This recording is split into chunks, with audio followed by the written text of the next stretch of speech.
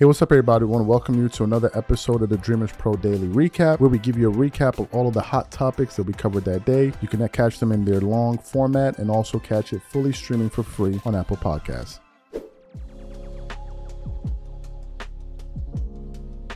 Day before yesterday on ESPN First Take, uh, Stephen A. Smith, Kendrick Perkins, and these guys went on a complete onslaught uh, on LeBron James, like a total onslaught on him, and they were just getting in his ass, man. They were really just uh, going at him, and we produced a bunch of shows, and we still got more stuff to talk about today.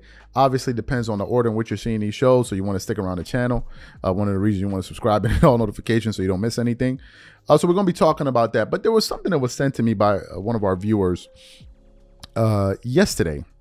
So he sent me a clip, and I saw the clip, and I was looking for the full clip, but I couldn't find it. But he sent me a clip of something that was very, very revealing to me.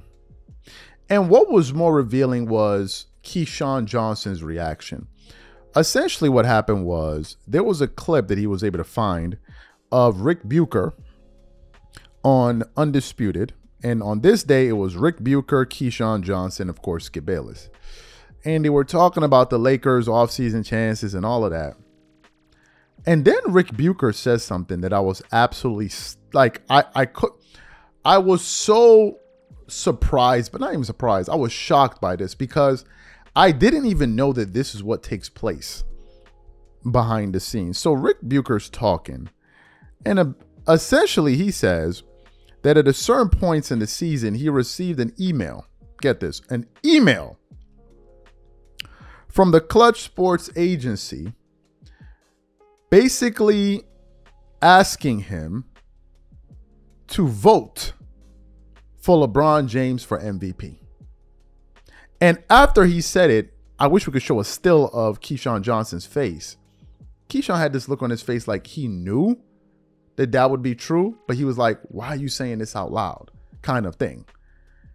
And I was like, wait, wait, what? What's going on here? So what we want to do is we want to quickly play what Ric Bucher had to say. It's only about a 30 to 40 second clip. And then we're going to come back and really get into the meat and potatoes of the show. Take a listen to what Ric Bucher had to say here on Undisputed the other day. A year older. Anthony Davis, if anybody's going to lead them, it is Anthony Davis. I was actually shocked that I got a text or an, an email from the Klutch Agency that was uh, promoting LeBron James for MVP. I was like, wait a minute he's not even the MVP of his team. this team doesn't have the record that it has, isn't where it is, isn't the dangerous opponent that it is mm. without Anthony Davis Wait, being uh, healthy. I was. AD's a clutch player. yes, exactly. Okay. Believe me, a lot of yeah. freaking flags went up okay. when I when I when I read that. But that said. So you heard what Ric Bucher had to say there.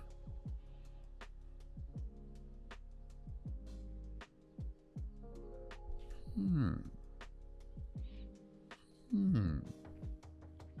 I see. I see. I see. Hmm. Folks, Houston, we got a problem. We got a very, very, very, very serious problem on our hands, folks. You know, just yesterday, and we produced a show about this less than 24 hours ago, we produced a show on our channel that I suggest you guys go watch of Stephen A. Smith saying on live television on ESPN First Take with a panel of Kendrick Perkins, Molly Qerim, and Shannon Sharpe, where he essentially said that LeBron allowed people to approach Kendrick Perkins because they did not like the narratives that he was putting out there because it did not align with their views and the message that they wanted disseminated to the public. And we were like, what? You got these guys secretly confronting media members to say things that they want? Wait a minute. So basically, if they're not expressing the views you want expressed to the public, then you're going to tell them to say otherwise. What? Is this what really goes on in sports media? Is this what happens when you really decide to be, hey man, I want to make the big dollars and make the big bucks? This is the game you have to play? This is what you have to do? Is this what it entails? A bunch of journalists up there twerking it up all over the place, slapping each other with honey, running up and down the hallway hollering, Go James, go James. Is that what it is? Is that really what it is? Why y'all sending emails to ask people to, to, solicit votes for you for MVP? My argument is why can't it just be based on merit? You do the work, we observe the work, we scrutinize the work and say, hey, listen, you deserve it, or he deserves it, or the other guy deserves it. Why do we need to go into all of these extracurricular activities to get people to do? And let me tell you something interesting that happened. I noticed it this morning. This is how they control narratives at ESPN, and it's how they fool a lot of you boo boo the fools out there. Kendrick Perkins went on ESPN yesterday, and he said, for yesterday, and said he thinks LeBron should retire, and he thinks that the more he plays is hurting his legacy. Guess what happened today on ESPN? They brought up the exact same question, and guess what Tim Legler said? No, I think it's helping his legacy. ESPN got to be a joke, man. It they're so transparent. These are the people that are t- giving us sports. The question I have is, who do we know out there in sports media that's actually saying what they actually think? This is the que- this needs to be the new challenge. The new challenge is say what you believe. Who are the people? I think they're very, very few. Very few. The rest of them are busy playing the political game. These guys should go into politics. They talk about politicians. Y'all should just join pol- politicians. Y'all are not y'all are not concerned with the audience. The audience is just people to just watch them up there basically shake each other hand, shake each other's hands in front of cameras and do all of that other stuff. They're not up there to really say what they did. There are a few people that used to call it like it is, and I'll say some of the names that from my personal view. Stephen Jackson used to.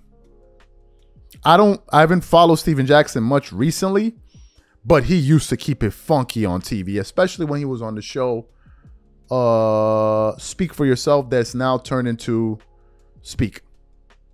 Go back and watch some of Stephen Jackson's old clips. He used to keep it real on those shows. Like real, real, real. He used to call it exactly like it is. Matt Barnes used to do it on ESPN first. I don't not ESPN first take on ESPN a few times. He used to do it. Who does it now? Today, in my personal view, Charles Barkley does it. Charles Barkley is saying what he truly, truly, truly, truly believes. The rest, I can't really call it. The rest, I just cannot call it. There's some people, you look at them, they look like they're about to say what they really think, and they'll hold back. Nah, let's not say like that. Oh, let's not say it that way.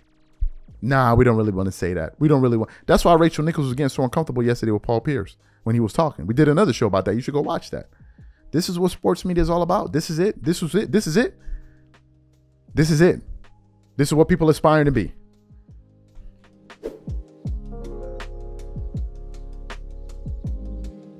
So yesterday, a video was sent to me from the interview on Gil's Arena, featuring uh, with, with with the guest uh, Mark Jackson. Right now, funny enough, I had seen bits and pieces of it, but I hadn't seen it in, in its entirety.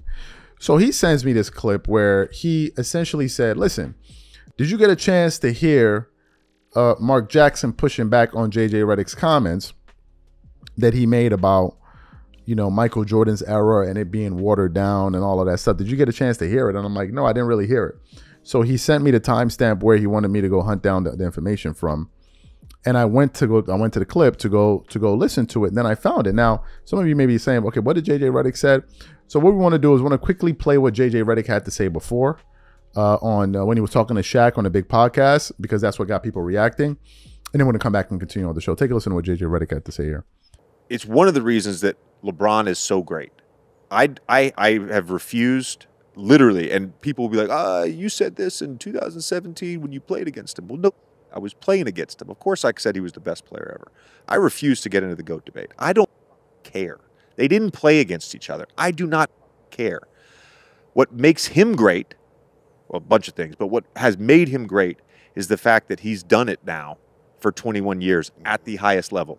Like You talk about scoring. That's great. So one guy averaged 35 a year. Yeah, LeBron's never averaged 35 in a year. Guess what? He's averaged 25 or more for 20 straight years. No one's had more than 15 of those years. Like that to me is he's a scorer. But but again, it looks differently. It, he plays differently. So it's all it's all in the eye of the beholder. LeBron is great to me because he's always done it the right way. When I played with LeBron, he was the greatest young leader I've ever seen. Man, stop stealing stuff from my podcast. No, man. he was. No, like, cause, cause I, no, cause when I, I mean, listen, I, I know he was, and I'm such a dominant personality. Like, I'm the guy that, I'm the guy that no matter what team I'm going to, this is my, nobody says. But when I got there, like, he just, he just ran it so perfectly. The way he treated the guys, the way he treated the organization, the way he was coached, the way he looked out for guys, like, I don't even have to do nothing. And, you know, we were, we definitely had a chance to win. We were in first the whole year, and Big Baby with his wife broke my hand. I had to be out for six weeks, and we came out and lost to Boston. I, I wish I wish I wouldn't have had that, that, that absence away from LeBron, but he was one of the greatest young leaders that I've always seen. So he will always be in that in that conversation. Only thing I don't like about the conversation is they don't put my boy's name in it. You're right, I don't get either. But if you're gonna be throwing names around, got you you got to have my boy's name in it. Right. You know what I'm saying? Dwight? That, that's like, huh? Yeah, Dwight. That's like, that's like saying, that's like saying, what are the best luxury cars out there? Lexus or a Beamer? You got to put the Mercedes in there too. Yeah. Just, just I don't like. I, I'm, I'm with you. I don't give. I, I don't care. truly don't. But Mike, LeBron, or Kobe, now y'all debate. That's that's all I say about it. I think it's fair to just say there are different tiers of greatness. And you could, by the way, like, I think it's fair even to be like, who's your Mount Rushmore? Who's your who's your four greatest, or who's your five greatest? Who's your who's your ten greatest? Whatever it may be. Like, we're we're we're nitpicking. By the way, a lot of times we're comparing eras, we're comparing different rules, we're comparing the fact that look, like I'll say this with Michael Jordan, and, and I don't mean this to be controversial, but like everybody talks about all these the, the context of this era. Michael Jordan, the Dallas Mavericks were, were, were added as the 23rd team in 1981. Jordan was drafted. During his heyday, six teams were added to the NBA. There were 90 players added to the NBA. Like that that does that not water down I'm not talking playoffs by the way. No chance we're talking playoffs. Does that not water down the regular season to a degree? You lived it, you lived it right? You Yeah. played against some of those teams. You played against the Bobcats, right? When they first came out. Yeah. Like, if we add two teams in two or three years, we get a Vegas franchise or a Seattle franchise, you're not telling me that the league for a little bit is going to be a little watered down? Maybe a little bit. So you heard JJ's um, original comments. So while Mark Jackson was on the panel, they asked him to weigh in on what JJ had to say and what he believes about Michael Jordan in terms of his GOAT status. And in typical Mark Jackson form, he did not disappoint whatsoever. So for those of you who didn't hear what Mark Jackson had to say on um, Gil's Arena, want to play exactly what he had to say for you now. I want to come back and react to his comments. Take a listen to what he had to say here. So, Mark, w- one more thing I want to get to you on before we hit up mostly fans. So, JJ Redick was on Shaq's podcast recently, talked about how MJ's prime was watered down in the NBA due to expansion. You came into the league a season before the first wave of expansion uh, with the Hornets and Heat debuting in 1988 and Magic and T-Wolves in 1989. What impact did expansion have on the quality of competition in the league in the early stages? And would you say that the league was watered down, or do you disagree with that statement? I disagree. Yes, I disagree. Point for Gilbert. It- it- I mean, you had you had very good talent on those teams. You can go back and and, and you, you look at those teams that came into the league and the way that they picked guys off of different rosters throughout the league, signed free agent, had draft choices. There's no disrespect to Michael Jordan. I mean, Michael Jordan is the GOAT. He's the GOAT. I don't, I don't, I don't care who he played against. He's the GOAT. He played against legit dudes. And I, I can say if there's, if there's 25, 30 teams in the league in 1990, there's a bunch of max players if you fast forward and bring them in 2024 on every single roster. You can't tell me that's not a max guard over there. That's not a max power forward. That's not a max combo guard over here. I'm just a regular dude. But the bottom line is the talent level can't be debated. So I understand what JJ was trying to say. And sometimes we say things to draw the attention. Michael Jordan, there's only five people alive that played against, five people in history that played against Jordan, LeBron, and Kareem. And I'm fortunate enough to be one of them. Michael Jordan is the GOAT basketball player. And he's, he's the reason why a lot of guys don't have jewelry and they put, they put the work in. A lot of greats. That's why I don't believe that everybody that, every, everybody that don't win a championship is not a champion. And there's some dudes that got rings that's they're not champions. So you heard what Mark Jackson had to say. What are my thoughts on his comments? Listen.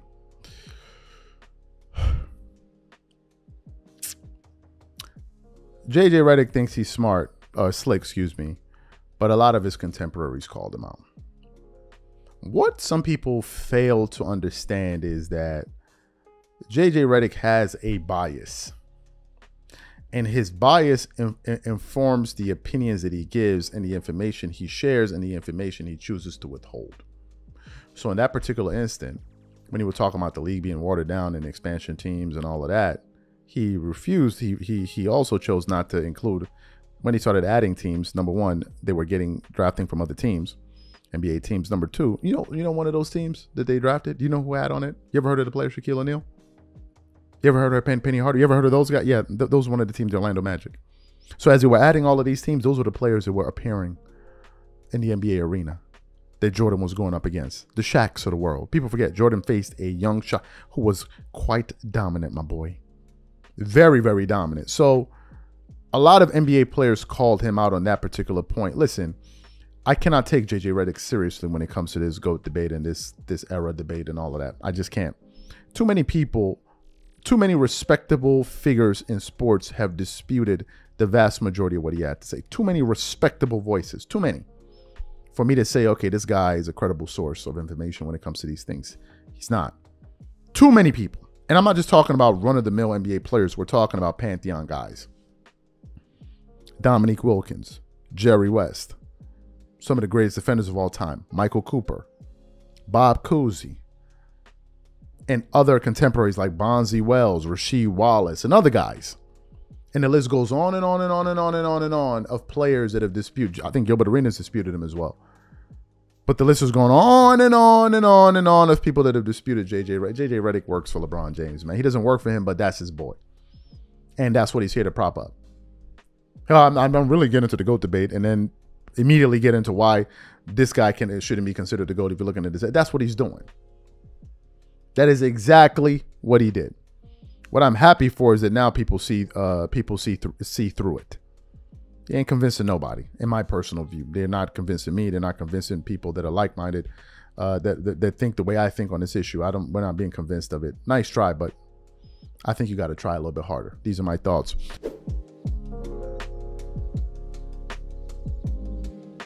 Let me get into this topic here. So a few hours ago, less than uh, let me say, less than 24 hours ago, Stephen A. Smith released a show on his channel, on the Stephen A. Smith uh, show, uh, where he, it had the headline saying, LeBron James needs to take more accountability. It's about a 13 second clip that he published.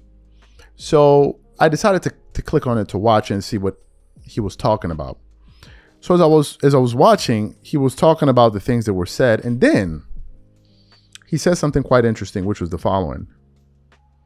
He said that because if you guys know, he just on I think Monday there was a panel of him, Kendrick Perkins, and these guys on on, on ESPN First Take, where Kendrick Perkins was just really getting annoyed with LeBron James. And then he said, Stephen A. Smith on live air said that LeBron allowed people to approach Kendrick Perkins about his views against LeBron James that, that didn't align with what they wanted him to say about LeBron James publicly. So as he was talking, he then revealed some pretty surprising or shocking information to me, which was he said that based on the things that are occurring right now and some of the moves that LeBron has been making, he said that Kendrick Perkins is actually considering removing LeBron James out of his GOAT or removing him from the GOAT debate because of some of these moves, some of his moves So what we want to do right now is want to play exactly what Stephen A. Smith had to say on his show uh, about Kendrick Perkins, and I want you guys to listen carefully to what he had to say there, and then want to come back and continue on. Take a listen to what Stephen A. Smith had to say here. Say no more, because at the end of the day, that's really what it comes down to. By the way, even Kendrick Perkins is rethinking his position on calling LeBron James the GOAT. Because with GOAT status comes accountability. This is not a ninth coach that LeBron James has had in his 21 year career. He's going to have he's going to be on his 10th coach. Now Shaq had 13. Kobe had 10. You know, Jason Kidd had 9. We get all of that. Okay? But look at this right here. LeBron James, Cavaliers, Paul Silas, Brendan Malone as an interim, Mike Brown for five years, Heat with Erik Spoelstra, if it were up to LeBron, one could argue that wouldn't have happened because LeBron wasn't high on Erik Spoelstra when he first arrived. Pat Riley just let him know, no, bro, you ain't running this organization. I am. Erik Spoelstra ain't going no damn place. And sure enough, Erik Spoelstra has proven to be one of the great, great coaches in the history of the game. You got Cavaliers coach David Blatt. Well, David Griffin, the GM at the time, didn't really want Blatt. Ownership wanted Blatt, but they wouldn't have picked Blatt if if LeBron James had spoken up and fought for Ty Lue, which he didn't do. So you had to deal with Blatt for a year and some games before they ultimately got rid of him and inserted Ty Lue in there, and then they won the championship. Then you got the Lakers with Luke Walton, who LeBron James did not, he inherited. He didn't pick him. But then you had something to do with Frank Vogel being there. You had something to do with Darvin Ham being there. I'm not going to even get into the fact that I don't like the fact that he didn't speak up for the brother. That would have been nice. Darvin Ham, in two years, take you to the Western Conference Finals. I mean, you would think you go to the Western Conference Final last year. This year, you get bounced out in the first round. But both losses were to the Denver Nuggets, who's universally recognized up to this point, up before Saturday, as the best team in basketball. So I'd have done that. All right, I'd have fought for Darvin Ham. But we knew from the time that Anthony Davis spoke out about how discombobulated and disorganized they were following their game two loss in Denver. We knew the days were numbered for, uh, for Darvin Ham. We knew that. That's what Anthony Davis did, did on purpose. So you heard what Stephen A. Smith had to say. Ladies and gentlemen, um, when he said what he said about Kendrick Perkins the other day, about him having I was very surprised by that. But we knew this already. Or at least we we we've been speculating about this because of all of these people that we have in media that sit up there every single day and twerk it up all over the screen, knock over people's drinks, run up and down the hallway, slapping each other with honey, hollering, Goat James, Goat James, Goat James. These people just can't help it. And then what, what really pisses them off is is that when you try to walk away from them, they grab you by the wrist and try to pull you to sit to pull them on the ground and start twerking with them. And they get mad when you ain't not, when, when, when you ain't up there twerking it up with them. It's like, yo, bro, I don't want no honey, man. I'm good. I'm good. I get that you like his beard. I'm good. I'm good. I don't need no LeBron James bed sheets. Like your man, I, am good, son. I'm good. Let me live. They just can't help it. They gotta twerk it up knocking over coffee cups, spilling drinks all over the place, disrupting the peace, waking up people at night. Because th- th- they just gotta twerk. They just cannot stop gyrating all over the damn screen. You listen to Nick Wright, you have to hold your television down because of how much twerking he be doing. One of these days, you're gonna see uh, uh, Kevin Wildes just ball up a piece of paper and throw it at his twerking, but it probably gets stuck to his face with all that honey that he be rubbing all over his body, talking about LeBron. You can't take these people serious. You just can't. You just cannot take these people seriously. And what is happening is that Kendrick Perkins is reaching a point where it's like, yo, bro, I'm good. I, enough is enough, man. Enough is enough. Like, enough is enough. Enough is enough. I don't think Kendrick Perkins is viewing LeBron like, oh, LeBron James. I think he's viewing him as somebody he knew from his childhood. It's like, yo, bro, you bugging right now. Forget about the fact that you are who you are. Man to man, you bugging. Like, I don't like your moves. I don't like the moves you be making. That's what I'm calling out. That's what I'm. That's what's beginning to irritate. That's what uh uh uh uh, uh, Chris Broussard said to Nick Wright just the other day. He said that listen, no one is saying that you know it isn't joint blame or whatever it is with the Lakers situation with Darvin Ham. He said what make what makes people get aggravated is LeBron's refusal to take any accountability or responsibility. As the leader, you should be the first one to step up, step up to the plate and say, hey, listen, we messed up as a group. And he's saying all too often LeBron is running and hiding and ducking and running, hiding under the desk. It wasn't me. And that is what's annoying Kendrick Perkins. I think he's beginning to get annoyed with the person because of these moves. And when you see a person, a staunch LeBron James supporter, run that used to say, "Oh, LeBron is the goat," and all, it was Kendrick Perkins talking about he the goat. For him to get to that point, he's like, "Yo, bro, I can't take it no more, man. I can't take it." And it also tells me that there's a lot of stuff that has happened behind the scenes that you and I don't know about. Has Stephen A. Smith not said what he said on ESPN first take, I would have never known that. He just took us behind the curtain. I never knew any of this.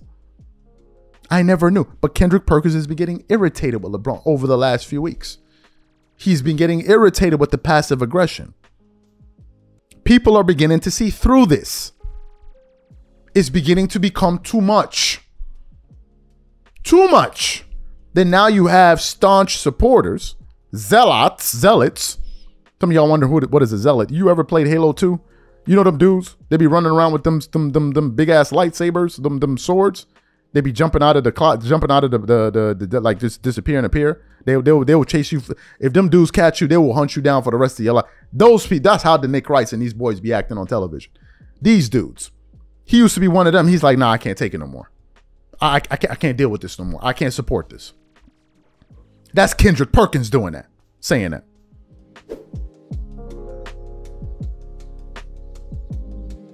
Uh, Stephen A. Smith is not letting up on LeBron's ass right now. Like he is not stopping. Like he is not. He is not letting up. He's really, really uh, going at him. And this really all kicked off on Monday on ESPN First Take, where he just absolutely obliterated LeBron James all over the damn television screen, calling him out for his antics, for getting people getting people approached to that don't share his views, his this this fetish that he has for controlling. And he called it all out, and he didn't stop because as you guys know, um, I think he usually films the show in the morning, and then after that he films his podcast. And then uh, what happened? So yesterday he published the show on his podcast, um, the Stephen A. Smith Show, where he then decided to take it a step further and really, really get into his thoughts and views and opinions on uh, what is it, Darvin Ham being fired and some of the things that LeBron has done and has been doing over his career. that just really, really really irk him about LeBron James. And I'm surprised because he's not letting up. So, uh, what we want to do is want to play exactly what Stephen A. Smith had to say on the Stephen A. Smith show uh, yesterday. Uh, no, today, excuse me. And then we're to come back and react to his comments, really get into the meat and potatoes of the show. Take a listen what he had to say here. Why am I asking these questions about LeBron? Because what we got to stop acting. Ladies and gentlemen, is LeBron James worthy of the GOAT conversation or not? I'm, for me, it's MJ all day, every day.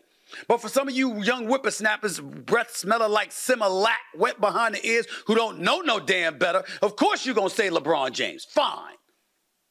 Are you willing to concede that if we're having a conversation about who the true GOAT is, that some level of accountability must come with it? When has LeBron James spoken up for a coach? Remember how Michael Jordan was like, when Phil's gone, I'm gone. You ain't get rid of him. Remember how Patrick Ewing used to stick up for Jeff Van Gundy? Remember how Alonzo Mourning stuck up for Pat Riley? Remember that? Remember that? Now, I notice a pattern, and one could easily argue that, you know, the white coaches get stuck up for. We ain't hear about brothers being stuck up for. Okay, that's a different subject for another day. That's not necessarily applicable here, just worth noting from a curiosity standpoint. But here's my point about LeBron James. How can you be on a Mount Rushmore of basketball and be completely innocent at the same time for every coach that gets let go under your watch? How is that possible? How? I mean, you listen to Rich Paul and these folks in his camp. What? Why don't you just put a turban or something around LeBron James and call him Gandhi? Does he do anything wrong? Does he? You know, when I get a little nervous, I go to the toilet.